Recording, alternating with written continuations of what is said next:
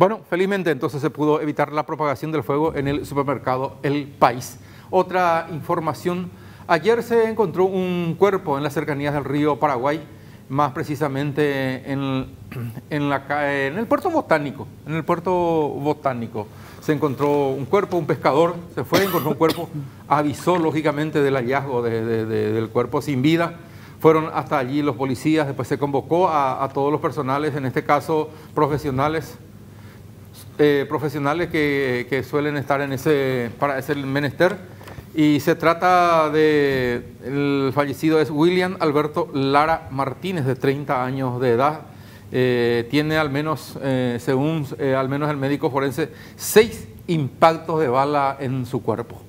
Es decir, no se trata de un homicidio cualquiera, estamos hablando de, porque como, dijo el comisario, si, hubo un forcejeo, por lo menos uno o dos disparos, nada más en este caso seis disparos con ensañamiento.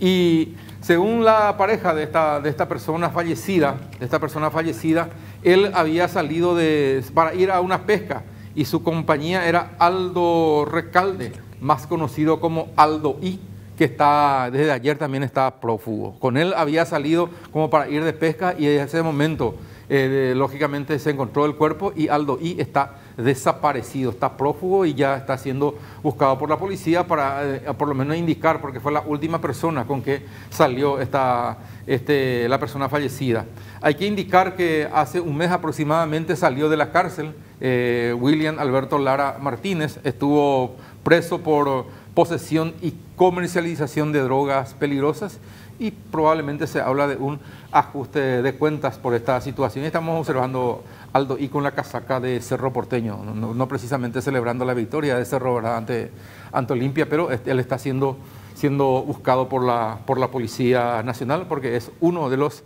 sospechosos de la muerte de William Alberto Lara Martínez.